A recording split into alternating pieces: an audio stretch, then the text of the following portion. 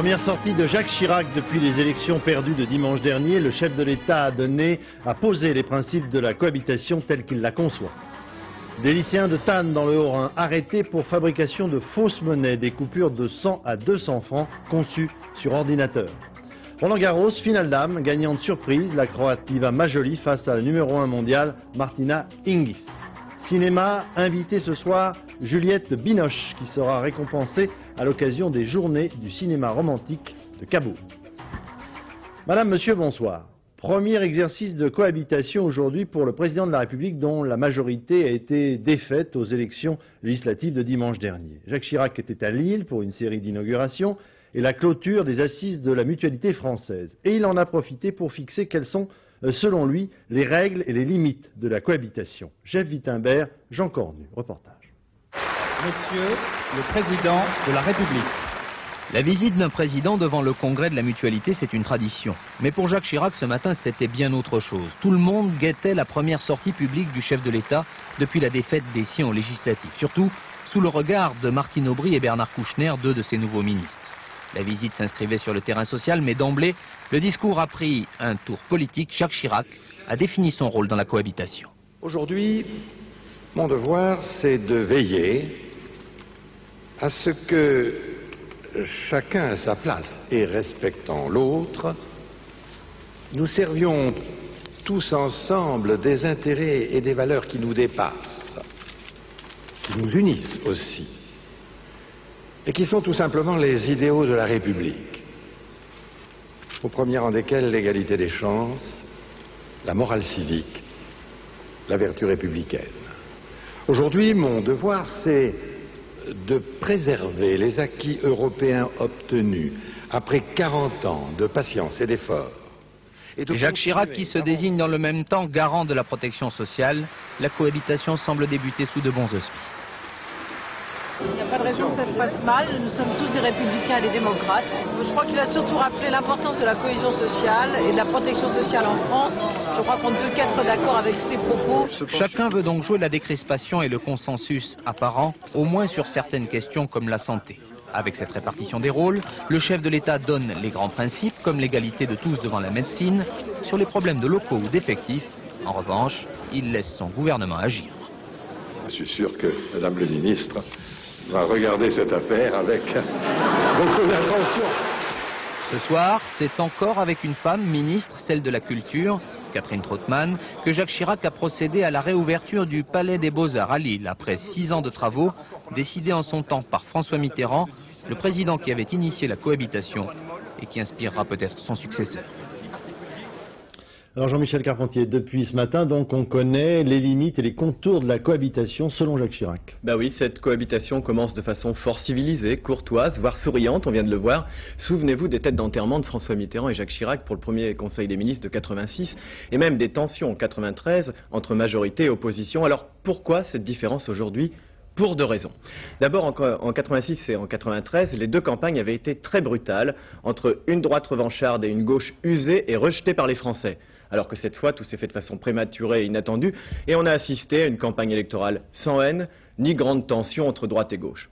Seconde raison, en 86 et en 93, une élection présidentielle s'annonçait dans les deux ans à venir, alors qu'aujourd'hui, gouvernement et président ont cinq ans devant eux, c'est-à-dire une situation tout à fait nouvelle que chacun va découvrir en avançant. Ce matin, Jacques Chirac a réaffirmé ses prérogatives présidentielles. Il est garant de la cohésion sociale et soucieux du rang de la France dans le monde. Un rappel ferme, courtois et serein. De son côté, ce matin également, Lionel Jospin, de façon tout aussi ferme, courtoise et sereine, a donné à ses ministres des directives fondées sur la persévérance, la rigueur morale et la concertation. En clair, les deux hommes s'inscrivent dans le temps et affirment leur volonté à la fois sur les grands équilibres intérieurs et sur la politique étrangère. Premier rendez-vous lundi. Euh, euh, à propos de l'Europe, à propos de l'euro. On connaît bien sûr la politique défendue jusqu'à présent sur l'Europe par Jacques Chirac, qui n'entend pas rester inerte. Tout le monde a compris que Lionel Jospin ne restera pas inerte non plus sur une question aussi fondamentale pour le pays, ni d'ailleurs sur l'ensemble de la politique étrangère de la France. Au fond, c'est un peu comme s'il n'y avait plus de domaine réservé, mais une sorte de domaine partagé dans le respect et dans la fermeté. Merci Jean-Michel. Les dossiers urgents euh, ne manquent pas pour euh, le nouveau Premier ministre, Lionel Jospin. Dès cet après-midi, il a longuement reçu son homologue belge, Jean-Luc Dehaene, venu lui parler euh, principalement de l'avenir de l'usine Renault Villevorde, qui doit normalement toujours fermer ses portes cet été. Philippe Visserias, Éric Delagneau. Jean-Luc Dehaene est sorti de sa Renault Safrane toute neuve avec une seule idée en tête, sauver son usine de Villevorde. Cette rencontre n'était pas prévue au programme de Lionel Jospin, mais pour les autorités belges, il s'agit de rappeler au nouveau Premier ministre français ses discours de campagne électorale. C'est aussi une façon de maintenir la pression à quatre jours de l'Assemblée générale des actionnaires de Renault. Après 1h30 d'entretien, Jean-Luc Dehaene ressort discret. Euh, monsieur euh, Jospin a euh, éclairci la position qu'il avait par rapport à cela de, dans sa responsabilité du gouvernement actuel. C'est positif pour Renaud Delborde Je pense qu'il s'attaquera à ce dossier dans les jours qui viennent et ce sera clair à ce moment-là quelle est sa position. Une position que Lionel Jospin avait évoquée à deux reprises au cours de la campagne. Le candidat socialiste avait alors promis de faire tout son possible pour que Louis Schweitzer revienne sur sa décision. À Lille, il y a deux semaines, les responsables socialistes avaient accueilli lors d'un meeting des représentants de l'usine. Pour dire notre solidarité à nos amis belges, qui sont ici. Cette semaine, au siège du PS, les discussions ont continué avec les syndicalistes belges. L'État français possède 46% du capital de Renault, mais aujourd'hui l'entreprise n'est plus une régie publique, c'est une société privée. Et Louis Schweitzer, le PDG de Renault, a mis tout son poids dans la fermeture de cette usine qu'il présente comme une nécessité économique. Ce soir, il n'a pas tenu à réagir, mais la visite de Jean-Luc Dehaene n'est pas faite pour le rassurer. Ajoutons à cela que M. Jospin a bien l'intention de réunir son gouvernement jeudi prochain au grand complet avant sa déclaration de politique générale le 12 juin à l'Assemblée nationale. Des faux monnayeurs arrêtés à Tannes dans le Haut-Rhin. La contrefaçon de monnaie est sévèrement punie en France de 15 à 30 ans de prison. Dans le cas qui nous occupe ce soir, il s'agit de lycéens apparemment très doués en informatique. Ils avaient fabriqué puis écoulé des faux billets de 100 et 200 francs dessinés sur ordinateur. Christine Brousse. Fabriquer de faux billets de banque, un véritable jeu d'enfant pour ces deux lycéens de Tannes férus d'informatique. Car tout a démarré comme un jeu, ou plutôt comme un pari. Il s'agissait de tester les performances de leurs ordinateurs après avoir scannérisé les billets dans la salle informatique de leur lycée. Et le résultat est alors si confondant que des camarades plus pragmatiques proposent d'écouler les faux billets. Plusieurs commerçants n'y ont vu que du feu, ce n'est qu'à la quatrième coupure que cette boulangère a pu donner l'alerte. C'était surtout le, toucher du billet qui était différent. C'était un papier genre euh, buvard comme ça. Par contre, les billets de 100, ils avaient le filigrane. Ils étaient beaucoup plus ressemblants que les billets de, 200. Hein. Au total, ces faux monnayeurs en culotte courte, tous issus de ce lycée, ont écoulé par jeu une quinzaine de billets de banque dans la région. Tous sont des garçons de bonne famille, plutôt bons élèves. Il s'agit de lycéens manifestement férus en informatique, doués en informatique, qui ont profité du matériel mis à leur disposition euh, au sein de leur établissement scolaire pour euh, scanner euh, de fausses coupures de 100 et 200 francs qu'ils ont ensuite reproduit sur disquette et affiné sur du matériel personnel à la maison euh, avant de les diffuser. Des apprentis faussaires qui risquent gros car la Banque de France ne plaisante pas avec les faux monnayeurs, même mineurs. Opération euh, commando aujourd'hui dans la région de Vienne, dans l'Isère. 300 agriculteurs et écologistes sont venus faucher un champ de colza transgénique, une plante génétiquement modifiée. Une expérience que refusent les manifestants. Pour l'instant, Rappelons que la France interdit la vente de ces produits. Benoît Gadret et Thierry Simonet. Il y a d'abord eu le geste manuel et symbolique. Voilà, c'est une bonne action. Pourquoi? Pour l'avenir. Pour l'avenir, mais dans l'immédiat, la scène est immortalisée par les photographes et surtout par les gendarmes venus constater l'infraction. D'autant qu'avec les tracteurs, la parcelle d'essai de colza transgénique a vite été détruite. Un pied de nez à l'initiateur du projet, le géant américain Monsanto, qui dans ses laboratoires modifie le patrimoine génétique du colza. Objectif, rendre la plante tolérante à un herbicide très connu, un herbicide fabriqué et commercialisé par Monsanto. Les plantes transgéniques, jusqu'à aujourd'hui, les essais étaient confinés en laboratoire, donc au niveau de la dissémination, les risques étaient maîtrisés, alors qu'aujourd'hui, on ne maîtrise pas du tout les risques, et ici, on n'a pas du tout respecté les procédures. La firme agrochimique se voit donc accusée de manque de transparence et surtout de faire courir un risque avec la pollinisation aux plantes des parcelles avoisinantes. Les risques de dissémination sont là, mais nous avons pris toutes les mesures requises, exigées par les autorités, pour limiter au maximum ces risques de dissémination. Reste le problème de fond, celui de la modification du patrimoine génétique de certaines plantes sans que l'on connaisse précisément les conséquences. Pour l'heure, la France autorise les essais, mais contrairement aux États-Unis, interdit la commercialisation de semences issues de plantes transgéniques. Journée du souvenir à Sainte-Mère-Église en Normandie. Le 6 juin 1944, les premiers parachutistes américains participant au débarquement de Normandie sautaient au-dessus de la commune, il y a exactement 53 euh, ans. Cette année, ces cérémonies du souvenir ont également été l'occasion de célébrer le premier saut en parachute. C'était en 1797. André Jacques Garnerin, passionné de physique, réalisait un premier saut à la verticale de l'actuel parc Monceau à Paris, du haut d'une montgolfière. Gilles Marinet, Marie-Christine Courtès. Hauteur de largage, 300 mètres. La même qu'il y a 53 ans. Mais cette fois, la 82e Airborne, compagnie américaine, saute en plein jour. En bas, il n'y a plus d'ennemis, juste des curieux. Pour les parades d'aujourd'hui, c'est presque une balade. Ouais, bon boulot, vraiment. Bon saut, je suis contente pour l'Airborne. C'est vachement formidable d'être ici. Atterrir sur une vache ou dans le fossé, il faut parfois savoir choisir. Je saute l'avion, c'est ma place là-bas, là-haut. Hein. Aujourd'hui, c'était un gag. En 1944, une tragédie. Alors là où il avait peut-être 40 euh, cm de flotte, mais quand ils arrivaient sur les fossés, ben évidemment, ils ne voyaient pas les fossés. Alors avec le chargement, eh ben, ils coulaient au fond.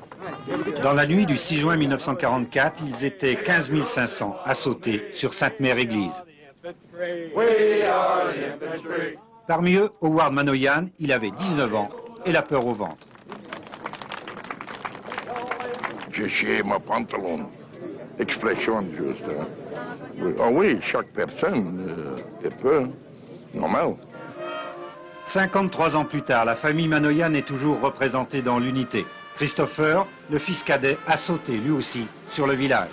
Mon fils, mon dernier fils, saute même secteur où j'ai sauté 53 années avant.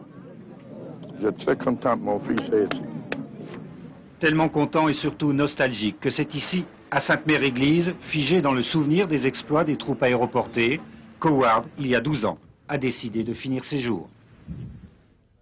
L'actualité internationale en Algérie, le résultat définitif des élections législatives donne la majorité au parti du président Zeroual, un scrutin dont la régularité est contestée par l'opposition algérienne. Pour autant, les observateurs étrangers n'en sont pas à réclamer l'annulation du vote. Thierry Tullier et Christophe Hérault, reportage. La file devant le guichet aurait fait le bonheur de n'importe quel responsable de bureau de vote ce sont les supporters du plus populaire club de football d'Alger. Il joue sa qualification en Coupe d'Algérie.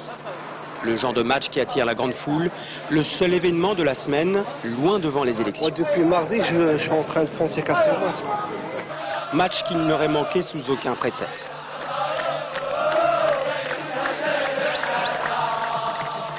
Ces jeunes viennent des quartiers populaires, là où jeudi, on n'a pas voté. Par peur, par lassitude ou par ras-le-bol. On est venu ici ça, pour oublier tout, c'est-à-dire. Euh, on s'en fout, c'est-à-dire pour oublier tout ce qui se passe ici en Algérie. Ah oui, les deux derniers mois, ça. On a vraiment vécu que des bombes et tout, les traumatisés. Alors aujourd'hui, ça y est, le vote est fini, alors tout le monde ici se déboule et tout. Et les élections, qu'est-ce que vous en pensez? On s'en fout des élections, nous. Leur rêve, ils le chantent prendre le bateau, quitter le pays pour trouver du travail et se marier. Ces jeunes-là sont sans illusion. Et aujourd'hui, ils ne se sont pas défoulés. L'équipe visiteuse a déclaré forfait. Il n'y a pas une match. Changement d'atmosphère. C'est la dernière délibération des observateurs de l'ONU. Dans leur rapport, ils relèveront de multiples fraudes, mais ils penseront surtout à préserver le processus démocratique. Ce Parlement peut être un certain contre-pouvoir démocratique au pouvoir réel qui tient encore le militaire, la justice et l'administration, disons, actuelle. Alors, je pense qu'il il faut soutenir ce processus. À partir de même avec euh, des petits ou des grandes fraudes, il faut le soutenir. Si l'ONU se montre mesurée dans ses conclusions, alors Liamine Zeroual, le président algérien, sortira conforté de ce scrutin, fort de la légitimité que lui confère la communauté internationale en validant ces élections. Au Congo, Brazzaville, la capitale, est depuis plusieurs jours le théâtre de sérieux affrontements entre miliciens opposants au chef de l'État et l'armée gouvernementale. Les deux camps se pilonnent à l'arme lourde. Il y aurait de nombreuses victimes déjà. Le contingent français stationné à Brazzaville n'est pas intervenu pour l'instant. Le pays est actuellement en pleine campagne électorale. Les élections présidentielles dans ce pays auront lieu au mois de juillet prochain. Retour en France avec euh, les journées euh, du deux roues, euh, des manifestations en faveur de l'utilisation de la bicyclette en ville, organisées dans plusieurs capitales d'Europe d'ailleurs. À Paris, 2000 personnes rassemblées qui demandent l'augmentation du kilométrage de pistes cyclables et le renforcement des transports en commun. Valérie Astruc, Éric Georgeon. C'est devenu un rituel. Chaque année, quand les beaux jours reviennent, ils enfourchent leur sel, envahissent le bitume et clament leurs revendications. Moins de bagnoles et plus de vélos. Il faut des pistes cyclables et qu'il n'y ait pas les voitures dedans. Si vous faites des pistes cyclables qui sont pas cyclables, c'est pas la peine. Moins d'auto, des tramways, moins d'auto, le réseau vert. Paris prise d'assaut par les vélos, tant pis pour les automobilistes. Certains tout de même compatissent. Ils avalent toujours de, de gaz, euh, ils sont toujours pas en sécurité. Paris, c'est pas une ville pour les cyclistes, malheureusement. 2000 mordus du vélo ont répondu à l'appel des associations. Une manifestation aux couleurs champêtres, l'occasion d'une promenade en famille pour fêter la journée européenne du vélo. On pense euh, très fortement à nos copains euh, en Allemagne, euh, en Hollande, en Belgique, au Danemark, qui ont des réseaux cyclables superbes. Et nous, on espère un jour avoir ce genre de choses dans Paris. Plus de pistes cyclables, plus de transports en commun, le rassemblement veut combattre la pollution en ville. Chacun y va de son slogan. Pour que Paris cesse d'être envahi par le bruit des moteurs. Journée de l'environnement maintenant. Cette année, ce sont euh, les agriculteurs qui sont appelés à prouver qu'ils sont bien respectueux de la nature. Reportage à Oriol, dans les Bouches du Rhône. Alban Micosi, Jean-François Georgetti. Là, on voit, donc on est fin floraison, les cicatrices de toutes les fleurs qui ne sont pas devenues des olives. Sur 11 fleurs, là, on a deux olives. Et encore la petite, c'est pas sûr qu'elle soit bonne. Nelly et Jean-François ne sont pas seulement agriculteurs, ils sont avant tout des passionnés. Aujourd'hui, dans leur exploitation, ces journées portes ouvertes, l'occasion pour les citadins marseillais de poser des questions essentielles. Je voulais savoir si cette variété, ça produisait des olives noires ou des olives vertes. En fait, les olives noires sont des olives mûres, les olives vertes sont des olives pas mûres. On ne fait pas ça toute l'année parce que c'est vrai qu'il y aurait une certaine lassitude, mais euh, à dose euh, modérée, c'est vrai que c'est intéressant. Et puis je crois que c'est un petit peu la, meilleure promotion de notre, de notre métier. En apprenant aux gens ce qu'on fait, je crois que les gens vont bien acheter quelque chose quand ils le connaîtront bien. Nous sommes ici à 30 km de Marseille. Et pour rendre au paysage sa beauté initiale et en faire un lieu de visite, les margiers ont beaucoup travaillé. Leur dernière conquête, ces terrasses plantées de jeunes oliviers qu'on appelle restanques en provençal. Une technique oubliée que l'on redécouvre aujourd'hui, meilleur rempart contre l'érosion des sols. Dans le même ordre d'idées, les vignes sont disposées en lyre, ce qui améliore l'exposition au soleil et réduit le recours au traitement chimique. L'agriculture raisonnée, c'est un état d'esprit, c'est-à-dire qu'on essaye de prendre en compte tous les facteurs environnementaux qui nous entourent. Donc, réintroduire des cultures disparues. Ainsi, la capre, production traditionnelle du 19e siècle, qui s'adapte évidemment très bien à ce qui fut son milieu naturel. Euh, Et voilà comment un petit coin de Provence a retrouvé son visage originel grâce à beaucoup de bonne volonté. Il en faut. Ici, les agriculteurs, 1% de la population, gèrent plus d'un tiers de la surface totale. Tout nouveau ministre de l'Environnement, Dominique Voynet, a réaffirmé aujourd'hui à Besançon que le projet de canal Rhin-Rhône est bel et bien abandonné. Reste à en fixer les modalités.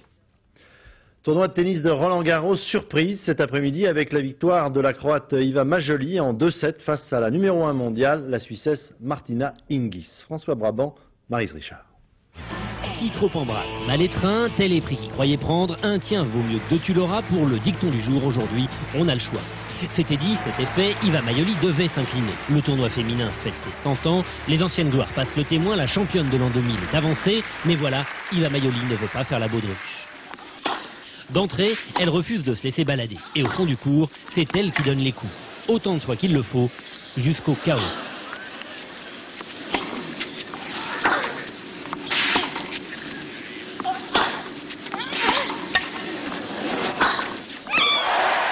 Pour la première fois du tournoi, Martina Hingis est touchée. Elle qui prend d'ordinaire un malin plaisir à trouver les diagonales les plus folles n'a pas la force de le faire aujourd'hui. Elle doit laisser ça à Iva Maioli. La petite merveille est énervée, la petite merveille est fatiguée et en face, la Croate n'a toujours pas le bras qui tremble. 6-4 puis 5-2, Martina Hingis est sur le point de céder pour la première fois de l'année.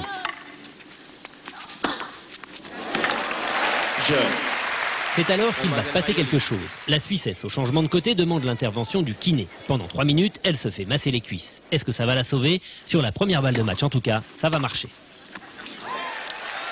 Mais ça n'est qu'un répit. Sur la deuxième, Martina Hingis n'a plus la force de revenir. Iva Maioli s'impose en 2-7. Elle devient la première joueuse à battre Hingis cette année et la première croate à gagner un tournoi majeur. Roland Garros a toujours été mon tournoi préféré, dit-elle. J'ai toujours rêvé de le gagner. Et je suis si heureuse d'avoir gagné mon premier grand titre ici. J'espère vraiment que je connaîtrai d'autres séjours aussi heureux.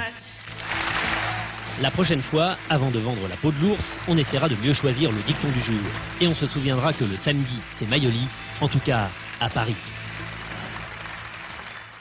Le triathlon de Nice, maintenant un classique particulièrement éprouvant pour ses concurrents, aura lieu demain. Parmi les favoris, un Français, Olivier Marceau, 24 ans. Le triathlon est une succession d'épreuves, natation, cyclisme, course à pied, qui demandent énormément de qualité et surtout de résistance. Yannick Aroussi, Diane Richard. Il y a des rêves qu'on aimerait ne jamais voir finir, des rêves de succès, des rêves d'exploit, comme celui d'Olivier Marceau, spécialiste de la courte distance, qui a réussi un coup de maître il y a un an au triathlon de Nice. Euh, je me suis lancé l'an dernier sur un coup de tête sans, m'entraîner, euh, pour voir, juste pour le fun, pour le faire. C'était mon premier longue distance en triathlon, mon premier essai. J'ai terminé deuxième et c'est une expérience qui m'a laissé de très bons souvenirs, qui m'a vraiment beaucoup plu. Une chose est sûre, en longue distance, Olivier prend son pied. Très fort physiquement, c'est sur un vélo qu'il peut faire la différence et gérer sa course. Le triathlon de Nice, c'est 4 km de natation, 120 de cyclisme et 30 de course à pied. Un enchaînement de trois disciplines qui pourrait laisser croire que ces hommes sont des surhommes. On peut avoir cette image du triathlète, mais euh, non, nous, on a, vraiment l'impression de, faire euh, un sport tout à fait normal et je me sens pas du tout euh, comme un surhomme. L'entraînement quotidien, c'est quasiment les trois disciplines euh, tous les jours. Ils ont un programme qui est quand même euh, conséquent parce que les distances à parcourir sont, longues.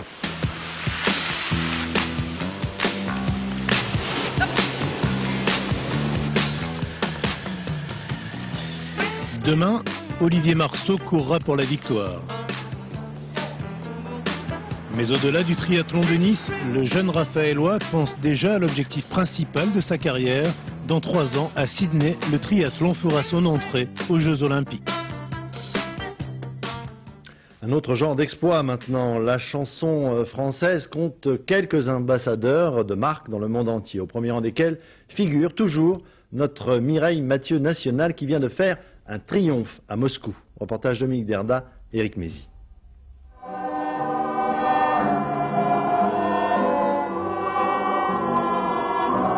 Dix ans qu'elle n'était pas revenue. Et en dix ans, à Moscou, les choses ont bien changé. Oh, c'est super. Regarde, Francky. Oh, c'est super, Ça a été restauré, Oleg, un peu?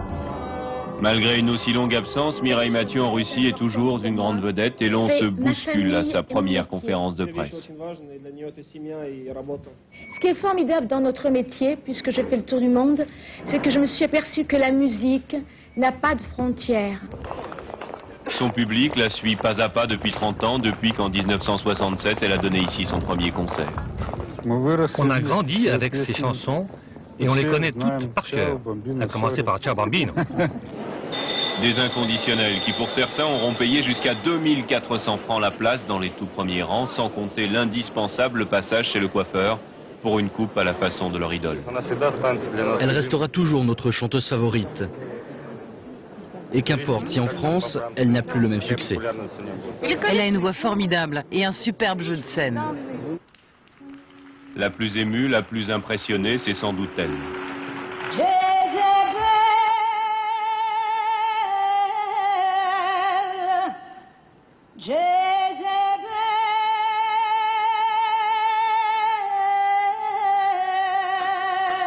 Même si son tour de chant de Pékin à Helsinki est une machine bien rodée.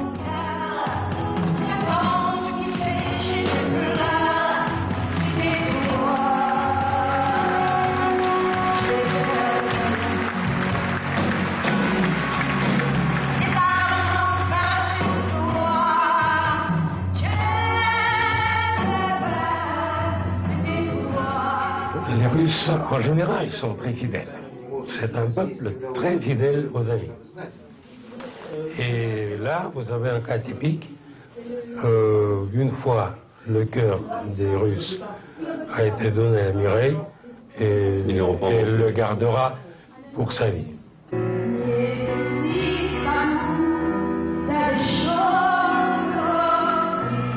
Chacune de ces étapes, elle tente en phonétique de chanter dans la langue du pays. Avec le temps du Muguel, une des chansons les plus populaires de Russie.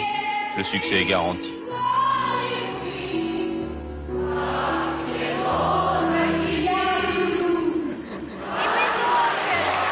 Trois soirs de suite, Mireille Mathieu a rempli le palais des congrès au Kremlin.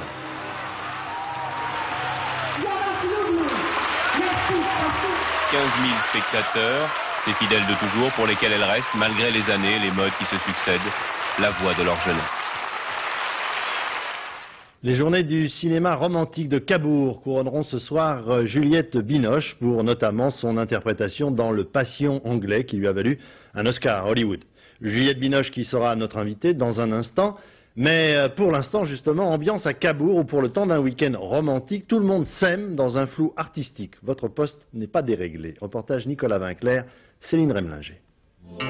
Comme à Cannes, il y a le ciel, le soleil et la mer. Comme à Cannes, il y a le palace, mais là où le festival de Cabourg fait la différence, c'est qu'à Cannes, tout le monde se bouscule, alors qu'ici, tout le monde s'aime et tout le monde aime tout le monde.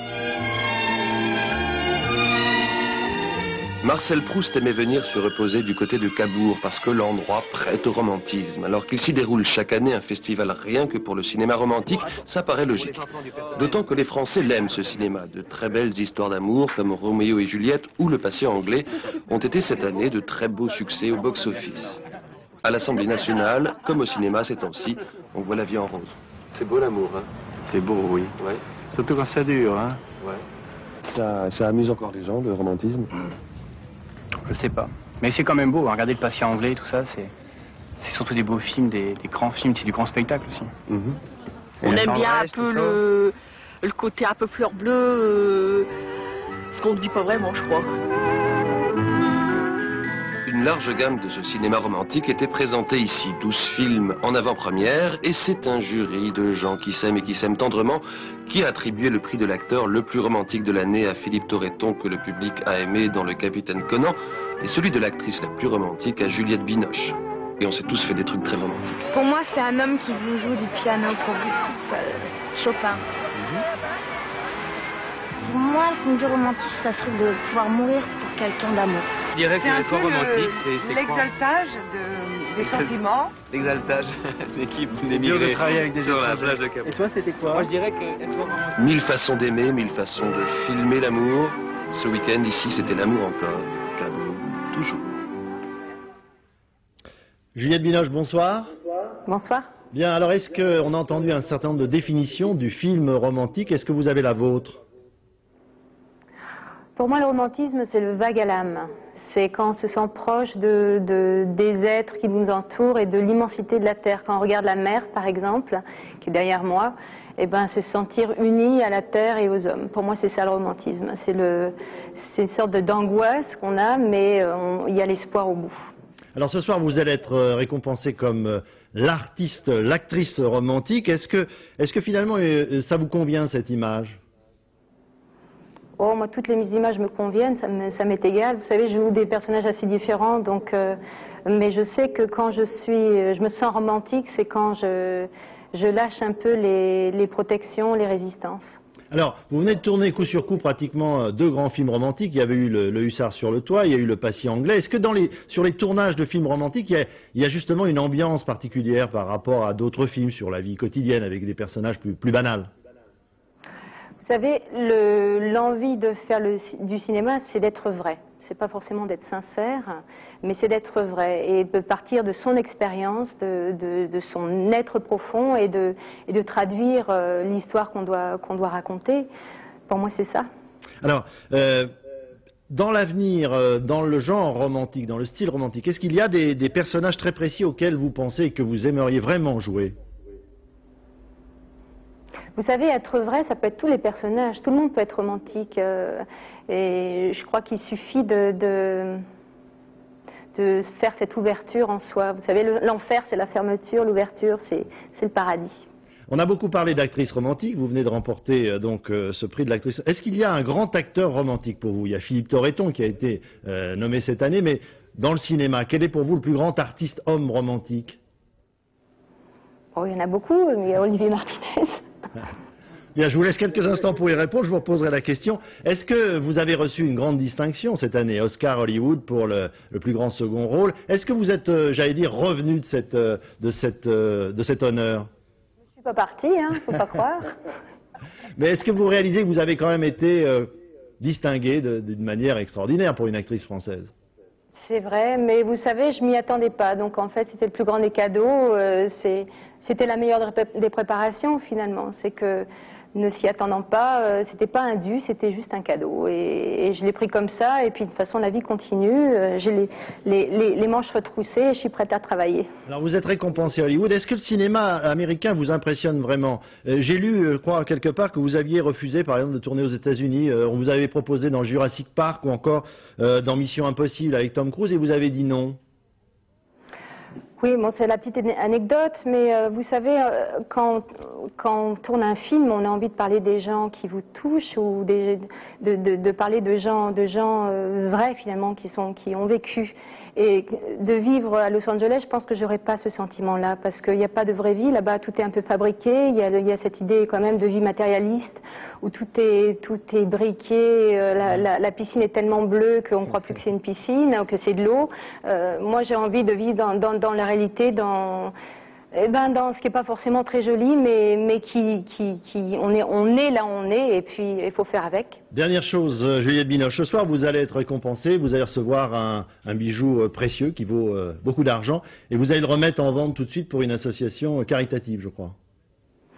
Oui, c'est une association qui me tient à cœur parce que d'abord c'est une petite association que j'ai choisie qui s'appelle Aspeka et qui s'occupe d'orphelins du, du, Cambodge, du Laos et du Vietnam.